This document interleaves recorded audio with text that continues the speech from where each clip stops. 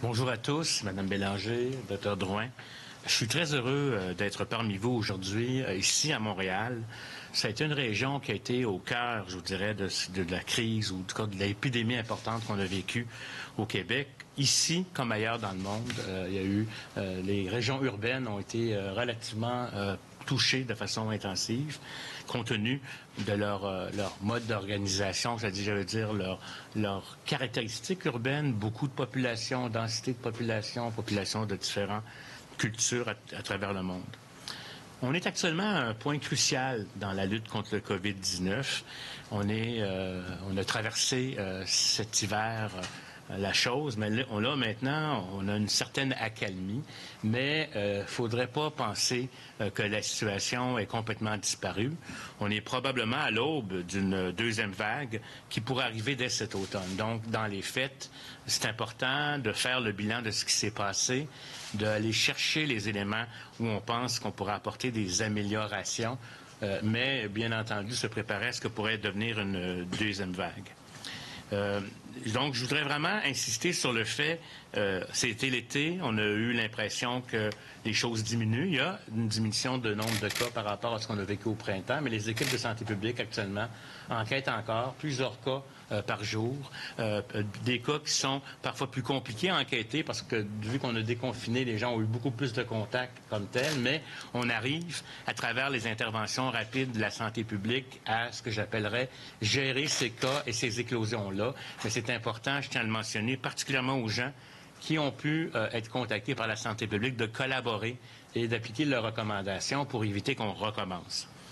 Euh, je, voulais aussi euh, mentionner, c'est sûr que dans ma, tournée, euh, je voulais faire un, un, aller pour aller rencontrer des gens qui ont travaillé très fort durant cette, au cours des derniers mois, pour échanger avec eux, entendre ce qu'ils ont à dire, mais aussi exprimer ma grande reconnaissance envers les acteurs, les équipes de santé publique et leurs partenaires, bien entendu. Mais vous savez, Dr. Mylène Drouin va pouvoir vous en parler tantôt, il y a eu énormément de travail qui a été fait autour de cas et de contacts dans la communauté qui ne se sont pas avérés en grandes épidémies dans la communauté.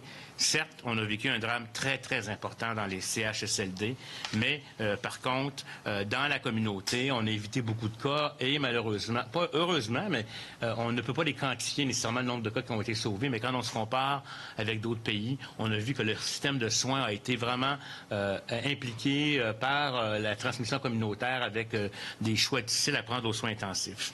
Donc, j'ai eu l'occasion de faire le point, comme disait Mme Bélanger, avec les équipes de santé publique ici, euh, avec euh, aussi euh, les PDG, les présidents directeurs généraux, qui le territoire de, Montréal. Et on a discuté justement des effets que ça peut entraîner, mais aussi de voir quels sont les défis qui sont devant nous, devant une perspective de deuxième vague. C'est clair, que certains milieux, je l'ai dit, ont été très touchés, certaines régions plus que d'autres. On s'attendait d'ailleurs à ce que la région métropolitaine, compte tenu de ses contacts aussi internationaux, la multiplicité des gens qui proviennent de différents pays, euh, la semaine de relâche a eu un impact très, très important. La quantité de personnes qu'il y a ici, la proximité, c'est normal qu'une ville comme Montréal ait plus de cas qu'en périphérie du Québec. Elle a dû composer avec différents euh, défis, euh, bien entendu. On a vu pendant euh, le déconfinement graduel qu'on a fait, il a fallu attendre un peu euh, dans la région métropolitaine pour le déconfinement. Souvent, il y avait un décalage d'une semaine à deux semaines, justement parce que la situation était, euh, était plus intense ici. Mais on a fini quand même par la suite à mieux contrôler la transmission, puis à pouvoir, à mon avis, déconfiner aussi, tout en surveillant de très près les différentes activités. Euh, les établissements des régions et les équipes de santé publique devront encore continuer à travailler très fort et de concert pour continuer d'assurer l'accès au dépistage. C'est important maintenant, mais ça va être aussi très important quand la circulation va se faire, vraiment aller dépister les bonnes clientèles et poursuivre le travail d'enquête et de traçage qui est fait actuellement afin d'isoler les personnes et limiter au maximum la transmission dans le virus. Cet élément-là est très, très important. Euh, vous savez, il est fort peu probable qu'on en arrive à vouloir complètement déconfiner, euh, je veux dire reconfiner et pas déconfiner comme avant, euh, parce qu'il y a des effets pervers. Hein. On, a, sauvé beaucoup de vies, mais quand on confine des gens, euh, notamment les jeunes, ont des conséquences au, confinement. Ils ont besoin d'aller à l'école, ils ont besoin de socialiser. Les personnes âgées peuvent avoir des pertes cognitives importantes, des pertes physiques, etc. Et donc, plus on va travailler ensemble, la population, la santé publique, les établissements, à, euh, je vous dirais, appliquer les consignes, plus collectivement, on ne surchargera pas notre système de soins, et on n'aura pas besoin de, de perdre des choses qu'on a acquises. Je l'ai dit, quand on est déconfiné, on est comme en liberté conditionnelle, mais il faut respecter les conditions. Et chacun des gestes que chacun des Québécois pose et pose peut avoir un impact comme tel, on l'a vu. Ce n'est pas nécessairement seulement associé à des contextes euh, euh, de, de bars ou, ou d'autres éléments, mais c'est aussi associé à des contextes de vie personnelle, de parties qu'on peut faire, etc des fois, on a l'impression qu'entre nous, c'est euh, plus facile, il y a moins de risques, mais c'est pas vrai. Ce virus-là est un malicieux. Il peut se cacher chez vous sans que vous soyez, vous vous rendez compte. Donc, j'insiste là-dessus parce que j'aimerais vraiment qu'en cette période un peu de baisse, notre situation ne soit pas de dire euh, ça diminue et donc il n'y a plus de problème, mais c'est plutôt de dire qu'il est comme là mais encore plus insidieux, et ça va être très important de respecter les consignes. Je voudrais euh, vraiment là, souligner l'excellent travail qui a été fait, notamment dans la région, par rapport aux premières cliniques de dépistage en mars, des cliniques novatrices de grande quantité, au dépistage massif sans rendez-vous qui a été mis à place à la ville, de, aux places des festivals. Puis je, je, salue aussi la collaboration fructueuse avec la ville de Montréal en ce qui concerne la mesure de respect de la quarantaine mise en place à l'aéroport de Montréal. Il y a eu aussi, dans un contexte où il y a de l'itinérance ici, euh, des clientèles très vulnérables, un travail qui a été fait très actif, en proactif entre la santé publique et la ville de Montréal et les organismes communautaires pour permettre que ces clientèles-là soient gérées adéquatement et qu'on ne se retrouve pas non plus avec des mortalités importantes.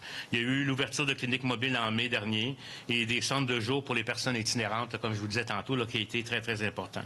Les gens de Montréal ont fait preuve d'une très grande créativité, je peux vous le dire, dans un contexte, euh, je dirais, d'intense pression euh, comparativement à d'autres sections du Québec sans souligner le travail qui était fait ailleurs. Mais ici, euh, ça a été vraiment excessivement chaud, excessivement d'intensité, excessivement de nécessité d'augmenter de façon très significative les ressources, ce qui a été fait le plus rapidement possible. Puis un des enjeux majeurs qu'on a dans notre système de santé ou ailleurs, dans la société québécoise, c'est la question des ressources humaines. On peut avoir des argents, on peut avoir des postes, mais des ressources humaines en quantité euh, significative, importante, mobilisable, c'est un enjeu majeur qui était présent antérieurement, qui va l'être encore, malgré le fait qu'on va avoir plus de préposés aux bénéficiaires. Il y a des améliorations de ce côté-là, mais c'est un enjeu important, la question des ressources humaines. Je tiens à vous dire aussi que tout ça, ça doit se vivre avec une très grande solidarité, une solidarité euh, qui était présente euh, au printemps dernier, mais qui va l'être encore plus, à mon avis, actuellement, notamment par euh, les expériences qui ont été faites, le rôle de chacun qui doivent être ensemble dans, la lutte à la pandémie. J'aimerais aussi euh, peut-être vous dire, j'ai eu l'occasion tantôt de visiter, euh, c'est intéressant, c'est pas dans mon secteur d'activité en santé publique, mais de visiter l'hôpital COVID à l'intérieur de notre l'hôpital Notre-Dame, c'est-à-dire euh, de, quelle façon, juste de l'autre côté de la rue, des médecins, des infirmières, des gens qui s'occupent, je vous dirais, des immobilisations ont réalisé à l'intérieur de l'hôpital Notre-Dame une zone qui permet de rentrer et d'en sortir sans contaminer le reste de l'hôpital et d'avoir accès à toute une panoplie de soins, une zone verte, jaune et rouge, accès à des soins intensifs de premier ordre. Et je trouve assez intéressant de voir que malgré les cas qu'ils ont eus à l'intérieur de cet hôpital-là, il n'y a pas eu de transmission nosocomiale de façon significative. Ils ont véritablement appliqué les mesures de prévention de façon, donc, c'est comme un modèle, à mon avis. Tout n'est pas exportable partout, mais je trouvais ça très intéressant de faire cette visite-là. Et je remercie la PDG de m'avoir permis d'avoir l'occasion de rencontrer les équipes qui, actuellement, heureusement, ont moins de cas tant mieux, mais euh, faut pas dire que ça va pas revenir, fait que je vous demande de faire attention. Vous savez, il faut apprendre à vivre avec ce virus-là, euh, du moins pour un certain temps encore. On ne sait pas quand est-ce qu'il va arriver des vaccins. Je, pense qu'il faut falloir... Euh, on peut pas revenir à l'avant-COVID-19 maintenant. Je tiens à vous dire que je vais répéter encore beaucoup de choses et on va faire des recherches pour trouver des solutions. On va essayer de se mieux se préparer, mais c'est très important. Le message que je veux vous dire, c'est que le virus est au Québec. Il est là. Il est encore là pour rester. Je veux vous dire aussi qu'antérieurement, vous avez vu qu'ailleurs dans le monde, il y a déjà aussi des réaugmentations. Donc, ce n'est pas une vue de l'esprit de dire qu'on pourrait parler d'une deuxième vague. On va tout faire pour maintenir celle-ci au plus bas, pour pas commencer haut euh, l'automne prochain. Puis ce que je voulais vous dire aussi, c'est que euh, on a fait beaucoup de connaissances et donc les, les confinements, déconfinements, les réouvertures de différents milieux, la rentrée scolaire, tout ça, ça va être regardé de façon très, très attentive pour justement avoir comme première valeur, je vous dirais, la santé des enfants, mais aussi, et des écoles et des parents, mais aussi un équilibre par rapport aux effets pervers du déconfinement, parce que je, pense que je trouve ça très, très important, particulièrement pour les personnes qui ne sont pas à haut risque. C'est important qu'on apprenne de, l'épidémiologie qu'on a fait. Je vais terminer mon allocution. Je sais que je prends du temps, j'en profite d'être à Montréal puis d'avoir l'auditoire pour répéter des messages. Je radote, je le sais, mais je vais radoter longtemps. La chose la plus importante dans le COVID-19, c'est la question de respect des consignes, dont la première est la distanciation de deux mètres. Pour moi, ça, c'est vraiment majeur. Être distancié à deux mètres tout le temps, c'est pas toujours évident, c'est pas facile. C'est pas pour rien qu'à l'intérieur des maisons, on dit aux gens de se rassembler pas plus que dix personnes, parce que c'est un contexte familial qui nous amène trop facilement à avoir de la potentielle transmission. L'autre élément, c'est le lavage des mains. Je tiens à vous dire que c'est important. J'ai remarqué que depuis qu'on a le port du masque euh, qu'on a rendu obligatoire, qui est une très bonne ajout supplémentaire, une diminution du nombre d'endroits où on peut laver les mains, euh, ou euh, le réflexe qu'on a de se laver les mains là, avant qu'on avant qu'on ait le masque a un petit peu diminué. En tout cas, c'est peut-être une impression, une perception, mais je veux vous le dire. On vous a montré la chose la plus importante en premier, la distanciation, le lavage des mains.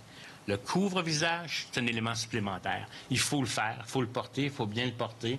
Et je pense que ça fait partie de notre euh, attaque commune. Si avec le couvre-visage, on sauve 10% des personnes, ça sera 10% Si ça en est 20, ça sera 20. C'est sûr que ça ne sera pas 100% mais rien ne fonctionne tout seul. Il faut ajouter les éléments et surtout, c'est pas parce que vous portez un masque qu'il faut que vous vous mettiez à un mètre de l'autre personne ou à 1,5 mètre. C'est plus pour quand vous pouvez pas, quand vous allez voyager. J'insiste là-dessus, puis j'insiste à ce que vous évitiez les grands parties. Là, il va y avoir des zones contrôlées de rassemblement, mais c'est pas dans un contexte familial où là, on a tendance à, oublier. Moi, le premier, si vous savez le nombre de fois où j'avais envie de faire un hug à mes enfants, c'est normal, c'est naturel, on est contre nature, mais j'insiste, j'insiste là-dessus. Je sais qu'on va dire iradote, mais je veux le répéter parce que c'est pour moi la pierre angulaire de ce que vous pouvez faire comme citoyen pour nous aider à éviter des cas. Et si jamais vous avez fait des choses pour lesquelles vous avez des inquiétudes, puis que vous êtes appelé par la santé publique, il n'y a personne qui va vous accuser. Collaborez avec eux, parce que plus on peut couper la chaîne de transmission rapidement, moins on a des risques que ça flambe dans la communauté. Puis il faut protéger nos... Faites-le pour vous, faites-le pour ceux que vous aimez, faites-le pour la santé de nos aînés. Merci beaucoup. Je cède la parole maintenant au docteur Drouin. Madame Bélanger, docteur Arruda, merci d'être euh, ici à la Direction régionale de la santé publique. Alors, euh, l'étape bilan est vraiment un exercice essentiel lorsqu'on vit un moment euh, comme on a vécu ce printemps, un moment où on regarde un petit peu en arrière euh, tout le travail qui a été fait et où on se projette, on se projette pour la prochaine phase. c'est aussi une étape, je dirais, où il y a son lot d'émotions, où on se questionne sur qu'est-ce qu'on aurait pu faire autrement, comment, y a-t-il des choses qu'on a, des angles morts qu'on aurait manqué. Et dans ce lot d'émotions-là aussi, je pense c'est aussi beaucoup de fierté puis de reconnaissance pour le travail accompli par nos équipes. Euh, aujourd'hui, on se prépare pour la deuxième phase. Une deuxième phase, une, une, éventuelle vague à l'automne qu'on n'est pas capable de prédire, évidemment, si ça va être plusieurs petites éclosions, des moyennes vagues ou une grosse, plus en novembre. Mais clairement, euh, on doit se préparer euh, au pire. D'entrée de jeu, en termes de bilan, ben on le sait, Montréal, euh, le bilan pour Montréal est quand même lourd en nombre de cas, en nombre de décès. On est l'épicentre, évidemment, du Québec et du Canada. Euh, on peut qualifier un petit peu cette première vague-là en trois temps. On a évidemment eu le, les voyageurs, euh, suivi évidemment de, ces éclosions qui nous ont vraiment surpris en, en, CHSLD et résidence de personnes âgées. Beaucoup d'infections chez les travailleurs de la santé et travailleurs essentiels qui se sont déplacés, évidemment, euh, vers une transmission communautaire en mai euh, dans certains quartiers beaucoup plus touchés des quartiers chauds. Donc, euh, globalement, c'est vraiment 76% euh, de nos milieux aînés ont vécu une éclosion euh, et 88 de nos décès se trouvaient évidemment dans ces milieux. 22% de tous nos cas étaient des travailleurs de la santé. Donc, c'est 6 268 travailleurs de la santé à Montréal qui ont été infectés. Donc, c'est sûr que le gros de ce qu'on a vécu dans notre première vague se situe autour de ces éclosions le succès, parce que quand même, il y a des choses qu'on a fait et qu'on peut euh, être fier. C'est évidemment à la fois le contrôle, la transmission communautaire qui s'est fait euh, en début avec les voyageurs et euh, celle lorsqu'on avait évidemment plusieurs zones d'éclosion et de transmission communautaire dans des quartiers chauds, qui beaucoup dans l'est et dans le nord de l'île de Montréal. Euh, et ce, succès-là ou cette capacité de contrôler la transmission, euh, c'est vraiment des efforts et une synergie, je dirais, d'action euh, dans la chaîne qu'on appelle de dépister, enquêter, isoler et évidemment gérer les éclosions. Et évidemment, l'effort de la population euh, à suivre les recommandations de santé publique a aussi soutenu, dans le fond, notre capacité à contrôler cette transmission communautaire. Et pour moi, c'est de bon augure. Puis on le voit encore aujourd'hui avec les éclosions qu'on a depuis, je dirais, début, début juillet et le dépistage qui s'est accru. On arrive encore aujourd'hui à bien contenir les éclosions qu'on a dans divers milieux de vie, que ce soit des bars, des équipes sportives, quand jours, etc. Donc, c'est quand même, euh, ça nous démontre qu'on a quand même euh, une bonne euh, capacité de contenir le virus, même si je ne crois pas qu'on va arriver à avoir zéro cas à Montréal dans les prochaines, je ne sais pas, quand on pourra imaginer d'avoir zéro cas à Montréal. donc, à, travers tout ça, à ce bilan-là, en tout pour moi, comme directrice de santé publique, je suis fière du travail de mes équipes. Euh, je suis et je veux les remercier euh, sincèrement et je veux remercier aussi toutes les personnes qui sont venues travailler avec nous euh, et qui ont prêté main forte des universités, des partenaires. Euh, on a eu vraiment euh, plus de 400 personnes qui euh, sont venues prêter main forte pour nous permettre, évidemment, d'enquêter les 29 000 cas, 11 000 contacts. On avait des gardes, 12 000 appels de garde depuis le mois de mars. Donc, c'était vraiment au-delà de la capacité initiale d'une direction de santé publique dans ses fonctions habituelles. Quelques bons coups. Dr Arruda en a parlé, évidemment, de la clinique de dépistage de masse à la place des festivals les cliniques mobiles pour en mai pour la vague de transmission communautaire dans les quartiers plus éloignés, moins bien desservis, la trajectoire de soins euh, de services en itinérance avec la collaboration de la ville, du milieu communautaire. Clairement, on a eu des cas chez les itinérants, mais on n'a pas eu d'éclosion majeure euh, et non contrôlée. Euh, et on est déjà en train de se préparer avec le milieu communautaire actuellement pour l'automne. Euh, évidemment, la mise en place de brigades dans les milieux de soins aînés qui n'étaient pas encore touchés par des grosses éclosions. Rapidement, on a déployé des gens euh, pour aller former, s'assurer que les mesures de prévention et contrôle des infections étaient rehaussées et ça a eu euh, un certain succès les opérations dans les multiplexes et évidemment la mobilisation qui s'est vue dans beaucoup de quartiers montréalais pour sensibiliser la population, aller rejoindre les populations qui ne parlent ni français ni l'anglais. Je pense qu'il y a eu beaucoup d'initiatives au niveau local et beaucoup de solidarité dans les communautés. Donc, on se prépare pour l'automne. Euh, on se prépare pour l'automne, ça veut dire quoi? Notre objectif, c'est de maintenir la transmission communautaire le plus bas possible pour, et, de, protéger, évidemment, pour protéger les gens les plus vulnérables, donc éviter les, formes les plus sévères de la maladie, s'assurer qu'on ne dépasse pas la capacité du système de santé. Et évidemment, si on arrive à maintenir cette transmission communautaire le plus bas possible, on peut éviter de reconfiner ou de fermer certains secteurs. Et c'est notre souhait parce que, comme Dr Arruda le disait, les impacts collatéraux, il faut toujours être, avoir une vision de, la proportionnalité, donc de ne pas avoir plus de méfaits que de bienfaits de fermer un secteur sur nos populations. Donc, pour y arriver, on a deux priorités. Évidemment, s'assurer qu'on est prêt pour dépister et enquêter, tracer et, et euh, gérer nos éclosions. Donc, la première priorité. Et la deuxième priorité, nos milieux aînés doivent être vraiment euh, bien préparés pour éviter que le virus entre de nouveau. Donc, les grands chantiers actuellement euh, que l'on travaille avec le réseau, euh, évidemment, on a, euh, puis Mme Mélanger pourra vous en parler davantage, une gouvernance, donc un centre de commandement régional qui a été mis pour s'assurer de bien coordonner l'action à l'échelle régionale. On a, évidemment, on est en train d'informatiser l'ensemble des processus d'enquête, mais on a un projet pilote spécial pour Montréal qui est un centre de contact pour les enquêtes avec une firme externe qui va nous permettre d'accélérer euh, toute la collecte d'informations initiales et de donner rapidement les consignes à la population. Ça remplace pas le travail que l'on fait ici à la santé publique. Au contraire, ça permet à nos équipes de se concentrer avec leur expertise clinique dans les enquêtes de cas et évidemment dans la gestion d'éclosion. Et avec ce centre contact-là, ce qu'on souhaite, c'est que si on a 100, 200, 300, 400 ou malheureusement si on monte comme on a vécu jusqu'à des 600 cas, on va avoir cette capacité et cette agilité rapide euh, de pouvoir euh, aller chercher l'information auprès des cas et des contacts. On a évidemment toute une stratégie de dépistage qui est en place, euh, qu'on peaufine avec les CIUS. Et, je dirais que l'appel au dépistage du mois de juillet nous a permis de tester et de raffiner, dans le fond, notre stratégie. Donc, on est plus près, encore plus près qu'on l'était au mois de juin. Et évidemment, toute une stratégie pour préparer nos milieux de vie aînés. On se prépare aussi pour la rentrée scolaire et ça, on pourra vous en parler dans les prochaines semaines. Euh, clairement, Montréal, c'est une ville universitaire. C'est une ville avec plus de 12 cégeps, 13 collèges privés, 10 universités. Donc, on aura à être bien prêt pour la rentrée scolaire avec nos partenaires de ces milieux.